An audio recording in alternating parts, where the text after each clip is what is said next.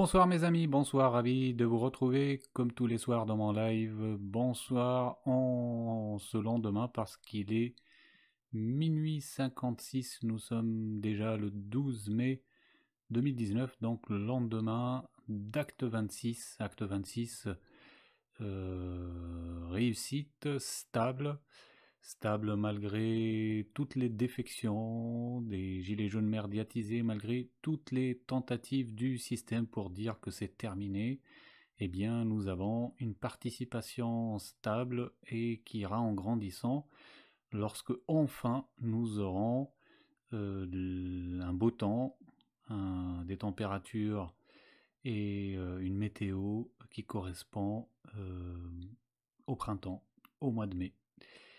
Ils pourront pas éternellement nous priver du beau temps. Bientôt, on va attaquer l'été, le mois de juin. Et euh, dès qu'il fera beau, nous irons, euh, comme prévu, euh, prendre le terrain et nous positionner, que ce soit dans les ronds-points, dans les places, donc euh, ceci inquiète grandement le système et on le voit, on le voit au travers des merdias qui sont euh, en état de panique permanente. Mes amis, euh, voilà mon petit acte 26 dehors, plus l'acte 26 dedans, que vous avez vu cet après-midi à travers la retransmission de cette manifestation en soutien à la Palestine qui s'est déroulé à Londres. Et je vous donnerai donc ensuite mon travail que j'ai enregistré qui comporte un bonus concernant l'attentat contre Notre-Dame de Paris. Allez, on regarde mon petit acte 26 dehors. Voilà mes amis, je vous fais une vidéo en différé de ma balade en forêt. Parce qu'ici ça capte pas du tout. Pour vous montrer ce que je vous demande de faire je le fais. Gilet jaune. Ça pose aucun problème. Dans n'importe quelle condition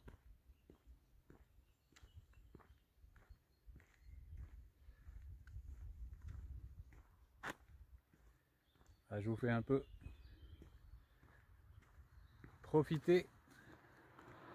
Tu restes là. Il y a Yo-Yo avec moi, une voiture qui arrive. pas filmer la plaque. Voilà.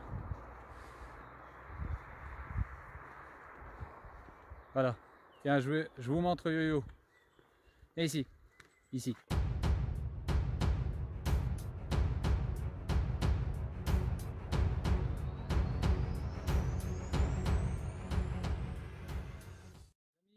Je vous montre la vidéo, j'espère, ce soir.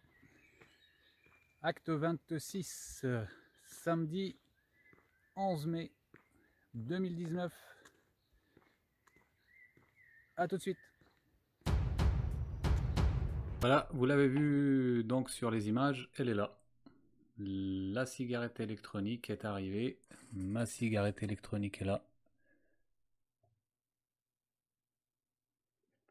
C'est extrêmement puissant de nos jours. Hein. Il y a même des gadgets.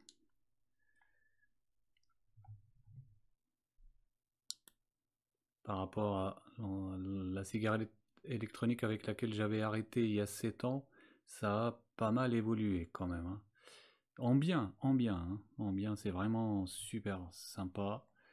Euh, j'ai pris euh, même une, un très puissant, 240 watts, alors que franchement aller au-delà de 20 watts, euh, pour moi c'est impossible, c'est ça me brûle euh, les poumons. Allez, on s'en fait euh, une petite en direct.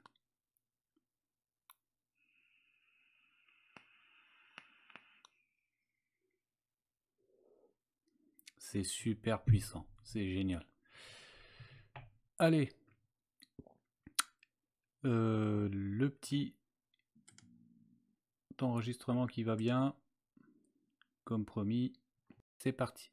Voilà, avec nous toujours sur ce euh, plateau Jean-Christophe Gallien, politologue. Il nous a rejoint Aziz Gouez. Bonjour. Vous êtes candidate de la liste anti-Europe aux élections euh, européennes. Euh, Aziz Gouez, d'abord votre, votre réaction certainement d'émotion ce matin et en toile de fond, un sujet très européen finalement. En effet, je crois que la première chose à souligner, au-delà de l'émotion mélangée qu'on ressent tous, donc soulagement et joie pour les otages libérés et leurs familles et tristesse pour les deux militaires tués.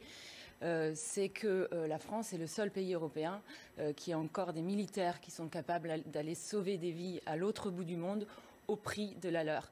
Et moi, je, je, veux souligner que ces gens sont des héros. la France est la dernière nation européenne qui sauve les gens qui sont kidnappés loin dans le monde de la France.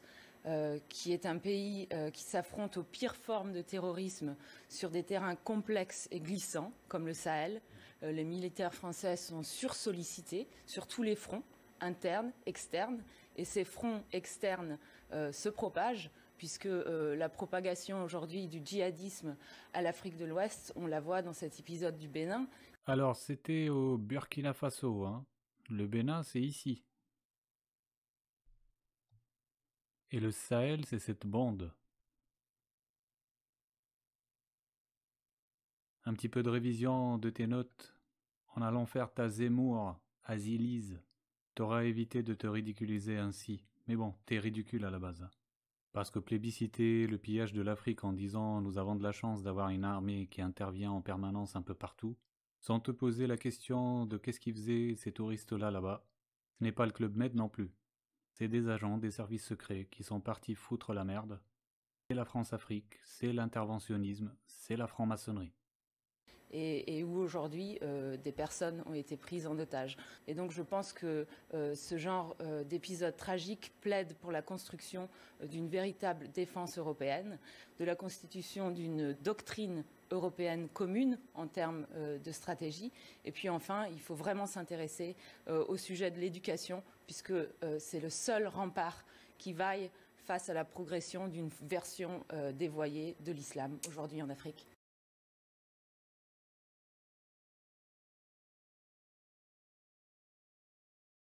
sur le renseignement, par exemple, elle est très puissante. Il y a effectivement, on ne peut pas intervenir, nous, on n'a pas les moyens, par exemple, d'organisation du renseignement, par exemple aérien, et on le fait avec les Américains. Donc c'est quelque chose qui est en progression. Mais vous avez raison sur la doctrine de défense européenne, elle n'existe pas. Emmanuel Macron a voulu pousser à un moment donné, mais encore une fois, avec une démarche très isolée de la France entre niveau européen, faire attention à dire que finalement la France est isolée. Oui, elle l'a voulu, en partie par moment. Parfois, elle est trop seule. Aussi, on est engagé grâce aussi à, l'Europe. Et ce qu'on fait aujourd'hui avec nos militaires français, c'est un exemple. Oui, absolument. Enfin, je pense que non. Ce que, ce que souligne euh, cet épisode tragique, horrible, encore une fois, c'est qu'on a besoin de l'Europe sur ces deux volets de l'action militaire euh, de l'action de projection de forces militaires vers l'extérieur et sur le volet euh, de l'action civile, du développement. Euh, pardon, Envie d'Europe. Envie d'Europe, effectivement. Pourquoi envie, d'agir aussi. Et envie d'agir aussi, mais envie d'Europe surtout. de Raphaël Glucksmann, 6% au dernier sondage IFOP fiducial, plus 0,5%. Et puis Jean-Christophe Gallien, qui est politologue. Zémoris Guez, candidate sur la liste du Parti socialiste Place publique. Elle a été initiée par le pire des salopards, le franc-maçon, le génocidaire, le criminel de guerre François Hollande. Groland, bien entendu, responsable des attaques contre la société française, exécutant du complot contre la famille entre autres, mais aussi que je considère derrière l'attentat contre Notre-Dame de Paris, sans parler de l'attentat contre Charlie Hebdo, l'attentat du Bataclan, l'attentat de Nice et tous les attentats qu'il y a eu sous son règne. François Groland qui nous a entraînés dans la guerre en Syrie, François Groland qui nous a mis en difficulté après avoir humilié les Russes en refusant de livrer leur frégate pourtant sous contrat et réglée. Zemmouriz a aussi été la plume du président de la République d'Irlande durant quatre ans. Fillon est marié à une Anglaise, Zemmouriz est marié à un Irlandais. Une église protestante a été attaquée au Burkina Faso au moins six morts dans son pasteur. C'était le 29 avril 2019, soit deux semaines après Notre-Dame de Paris. Le Burkina Faso, là où nous avons perdu deux militaires des forces spéciales françaises pour libérer des soi-disant otages, deux Français et une Américaine et une Sud-Coréenne. Ils étaient là-bas certainement pour faire un safari. Tout comme les 14 Français armés jusqu'aux dents, arrêtés par les Tunisiens alors qu'ils revenaient de Libye, mais qu'on nous présente comme de simples diplomates. Déjà le 15 février, le père César Fernandez, missionnaire salésien d'origine espagnole, a été tué lors d'une attaque armée, toujours attribuée, bien entendu, à des djihadistes. Si on regarde la situation géographique du Burkina Faso, on voit bien qu'on est à la frontière avec le Mali, Mali qu'on est en train de piller depuis des années et des années pour son uranium qui sert à nos centrales nucléaires. Et qui, comme le pétrole pillé dans d'autres pays africains, nous coûte un bras ici en facture d'électricité comme pour payer l'essence lorsqu'on remplit nos réservoirs. En Pologne, un rituel de Pâques a été considéré ouvertement antisémite le 22 avril 2019, soit une semaine après l'attentat contre Notre-Dame de Paris. En effet, des Polonais ont repris un ancien rite de Pâques en brûlant un mannequin censé représenter Judas, fabriqué pour ressembler à la figure stéréotypée du juif. C'est le Congrès juif mondial qui a condamné cette ville polonaise. Voici quelques images de ce rituel controversé. Le chef de la diplomatie israélienne Israël Katz a dit L'antisémitisme que les Polonais têtent avec le lait de leur mère, ce qui a énervé Varsovie et qui a donc boycotté en février un sommet prévu à Jérusalem de la Pologne, Hongrie, République tchèque et Slovaquie. On nous dit que la Pologne était la première terre d'accueil des Juifs jusqu'au XXe siècle. Elle a ensuite été envahie et occupée par l'Allemagne nazie et a vu périr 6 millions de ses habitants pendant la Deuxième Guerre mondiale, dont 3 millions de juifs. Aujourd'hui, on estime la communauté juive de Pologne entre 8 000 et 12 000 membres. Un rabbin israélien a incité à mettre le feu aux églises en 2015. Ce rabbin israélien, Gensi Gopstein, une figure extrémiste du courant radical Lehava, avait déclaré qu'il soutenait les incendies d'églises lors d'un débat sur l'idolâtrie. Après la publication de cet enregistrement controversé, après le scandale, Gopstein a publié un communiqué affirmant que ces déclarations ont été faites uniquement dans le cadre théorique de la loi juive. On apprend aussi que le groupe Lehava avait manifesté contre le défilé de la Gay Pride à Jérusalem, au cours duquel six personnes ont été poignardées, dont deux sont mortes suite à leurs blessures. Gopstein avait comparé l'homosexualité à la pédophilie.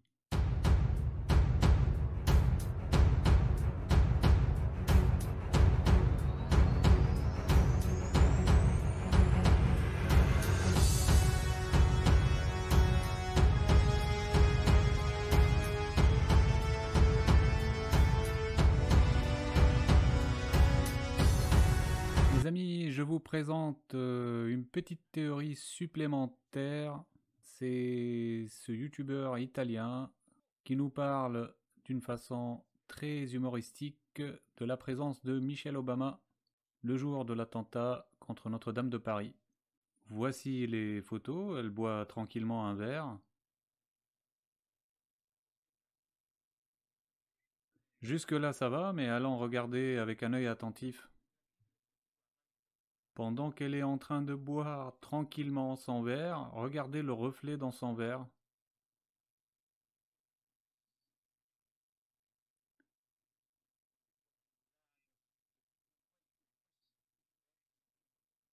D'après vous, c'est une coïncidence, ça? En verre, on voit le reflet de Notre-Dame qui brûle. Regardez, elle a un collier. Vous avez vu son collier? Burning.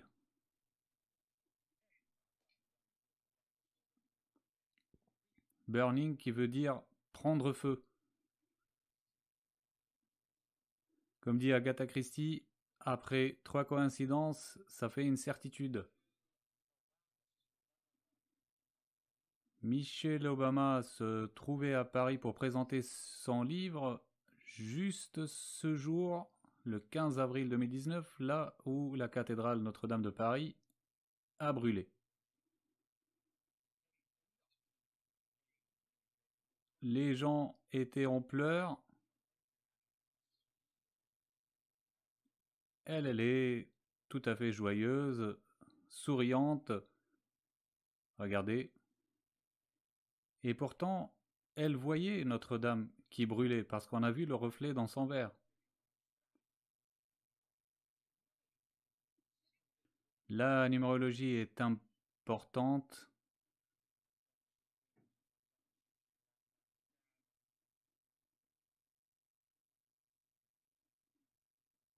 Voilà les arcanes du 14 et du 15. Ouvrez vos yeux Trois coïncidences.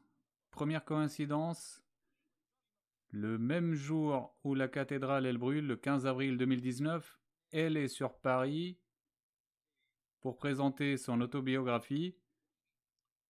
On voit dans le reflet de son verre qu'elle voit Notre-Dame qui brûle. On voit Notre-Dame qui brûle dans le reflet de son verre. Elle est au courant. Elle est souriante. Ça l'empêche pas de continuer sa petite fête souriante. Et dernière coïncidence, la troisième, c'est son collier sur lequel c'est écrit Burning. Burning qui veut dire en train de brûler. Voilà, ne soyez pas aveugle, ça fait un peu trop de hasard, un peu trop de coïncidences. Alors récapitulant, il y a trois coïncidences. Le jour même où Notre-Dame brûle, c'est le jour qu'a choisi Michelle Obama pour être présente euh, à Paris, euh, juste en face de Notre-Dame, pour présenter son autobiographie. On voit donc le reflet dans son verre de Notre-Dame de Paris qui brûle. Elle n'était donc pas sans le savoir. Elle continue malgré tout souriante à faire joyeusement sa petite fête. Et troisième coïncidence, c'est, euh, vous voyez, son collier burning. Burning qui veut dire en train de brûler. Par le feu, bien entendu.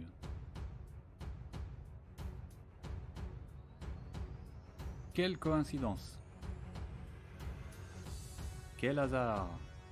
Elle a le bon collier, le bon reflet sur son verre, et elle est le bon jour Paris, en face de Notre-Dame. Je suis comme si italien. Je pense que ça fait un peu trop de hasard et de coïncidence.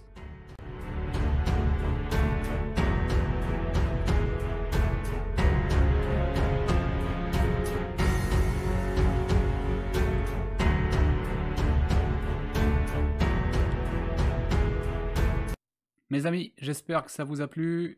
Voilà, on va se dire bonne nuit. Il est 1h16 le 12 mai 2019. Euh, bonsoir Tony Nero. Alors est-ce que j'ai commencé? Euh, Non, il y avait Mota Abdelrani. Salam alaikum. Alaikum salam. Nado Naturel, bonsoir. J'ai pas encore repris. Tony Nero, tu dis bonsoir Tim Mehdi, bonsoir frérot. Colette Dell, tu dis bonsoir Mehdi, bonsoir aux insomniaques, bonsoir ma chère Colette. Ensuite, euh,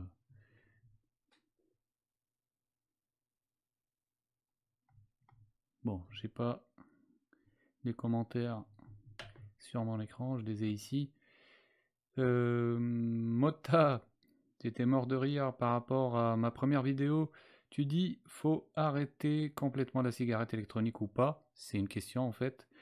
Euh, il faut pas se mettre la pression parce que avec la vraie cigarette, vous inhalez 4500 euh, saloperies et avec ça, c'est de la vapeur d'eau et il y a uniquement du glycol qui est un colorant alimentaire. C'est pas tellement méchant face à la cigarette. Le but, c'est de faire un protocole pour descendre en nicotine descendre à peu près de 1 ou 2 mg de nicotine tous les 21 jours, toutes les 3, tous les 3 semaines, toutes les 3 semaines, et euh, d'arriver à la fin à fumer du zéro nicotine. Le but est là. Ensuite, lorsque vous êtes à zéro nicotine, il ne faut pas se mettre la pression. Vous verrez, moi ça c'est ce qui m'est arrivé il y a 7 ans. Euh, vous verrez que vous ne la chercherez plus euh, un beau jour. Vous allez vous rendre compte que cela fait trois jours que euh, vous n'y avez pas touché. Parce que le, nœud du problème, le problème c'est la nicotine, ce n'est pas autre chose, ce n'est pas le geste, je vous l'assure, hein, c'est une fois que vous êtes sevré de la nicotine, c'est terminé. Donc bon, faut, faut pas se mettre la pression, faut la fumer. Euh, vous verrez que vous ne la fumerez pas, vous ne vapoterez pas toute votre vie. C'est faut se donner 6 mois et sans, sans se limiter. Lorsqu'on est à zéro, c'est fini, c'est terminé, tranquille, vous pouvez vapoter et au bout d'un moment, vous l'oublierez. Voilà, je t'ai répondu. Oui, qu'est-ce qu'elle raconte, cette candidate? Du catastrophique PS, ancien PS Colette c'est ce que tu disais. Euh, Rafir Tomi, bonsoir. Deux espions, tu dis, même quatre. Hein, deux Français, une Américaine, une Sud-Coréenne. Je suis d'accord avec toi. Nabiha Saidi, bonsoir. Colette, tu as pris les devants. Tu dis bonne nuit, à bientôt. Joachim Geronimo Lario, euh, bonsoir.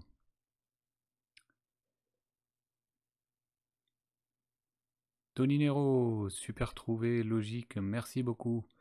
Et merci aussi aux youtubeurs italiens. Euh, ah, Geronimo, euh, j'avais pas compris ton message et là j'ai compris parce que tu dis waouh, vive les bugs, je reprends, désolé. Bonsoir Mehdi, bonsoir tout le monde et bonne nuit, à demain, enfin à plus tard. Voilà, t'as tout mis dans un seul commentaire, c'est parfait, c'est ça l'efficacité. D'ailleurs, je couperai un petit peu pour que sur YouTube, comme d'habitude, je vous invite à aller voir les lives sur YouTube. Je les travaille généralement. J'augmente le son, je coupe les passages à vide, je corrige comme je peux les bugs. Donc c'est beaucoup plus léger et plus facile à, regarder. Là, vous avez la primauté du live et vous êtes, vous êtes en quelque sorte euh, on va dire, mes testeurs, mes cobayes pour le live euh, au cas où ça foire. Et en plus, on a, on a une, interaction.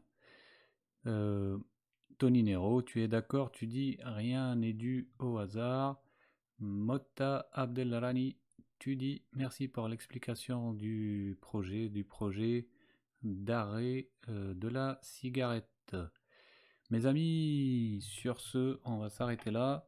Je vous souhaite euh, une bonne nuit. Il est 1h21 et on se retrouve ce soir comme d'habitude pour un live parce qu'il en va de ma sécurité. À ce soir